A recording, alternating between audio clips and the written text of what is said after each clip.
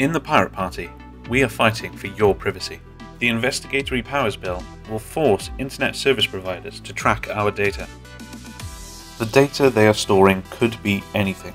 Something we've looked up out of medical concern, location, where our children go to school, a holiday destination, speeds we were traveling between destinations, entertainment, online gaming, or where we get our films from, or other forms of entertainment, such as adult material or other things you wouldn't want shared.